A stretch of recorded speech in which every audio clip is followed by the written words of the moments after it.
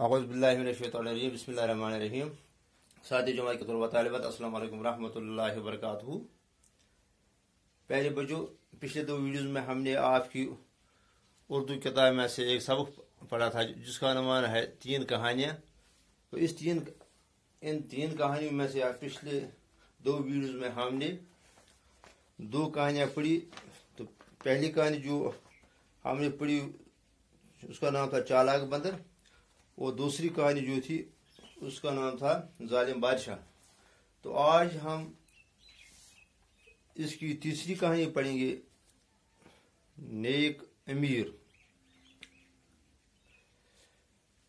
तो बच्चों, आप अपनी किताब सफ़र नंबर पैंसठ पे खोलिए। तो अब हम शुरू करते हैं। एक दिन की बात है कि एक यतीम बच्चे के पाँव में कांटा चुभ गया। कहता है कि एक दिन एक यतीम बच्चा यानी यतीम बच्चे हम इस बच्चे को कहते हैं जिसका माँ बाप, जिसका बाप न हो, जिसका बाप मर गया हो। तो कहते हैं कि एक दिन यतीम बच्चे के पाओ में एक कांटा चुप गया। बच्चा तकलीफ़ से चिल्ला रहा था। यानी बच्चे को पाओ में तकलीफ़ हुआ और वो तकलीफ़ की वजह से चिल्लाने लगा। एक अमीर आदमी घोड़े पर सवार उधर से गुजरा। कहते हैं कि एक अमीर आदमी जो सोड़े, जो घोड़े पे जा रहा था तो वो वहाँ उतरा। अमीर आदमी बड़ा नेक दिल था।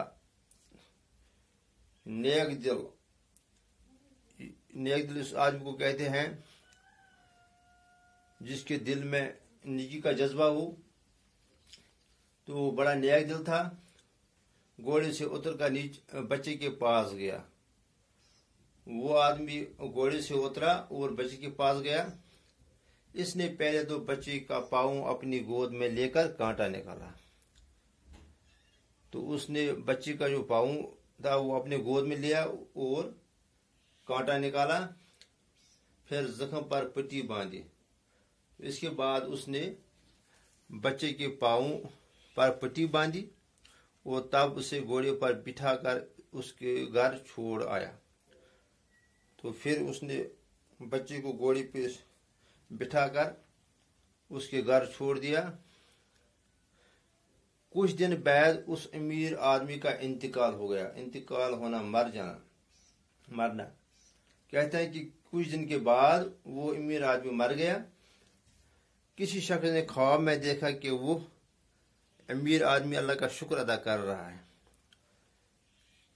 किसी आदमी ने उस नेक अमीर को ख्वाब में देखा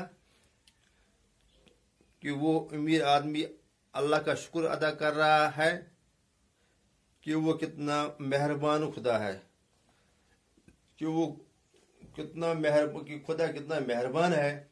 जिसने मुझे एक सूखे कांटे के बदले जन्नत के बाग दिए हैं।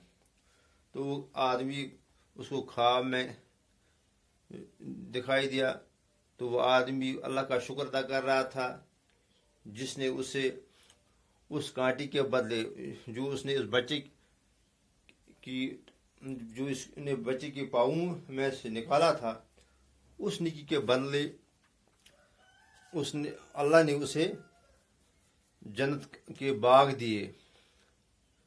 तो बच्चों, हमें इस कहानी से ये सबक मिलता है कि हमें नेक काम करने चाहिए। और जो भी हम कोई नया काम करेंगे, जो ज़रा बर भी हम निजी करेंगे, उसका सिला उसका बदला हमें ज़रूर अल्लाह देगा। और हमारी निकियाँ कभी रायगा नहीं होंगी। तो इससे अल्लाह भी राज़ी होता है। और दुनिया के लोगों की नज़रों में भी इंसान इज़्ज़त व एहतराम का मकाम हासिल करता है। तो आज इतना ही इन कल इसके सवाल के जवाब देंगे। वसलम।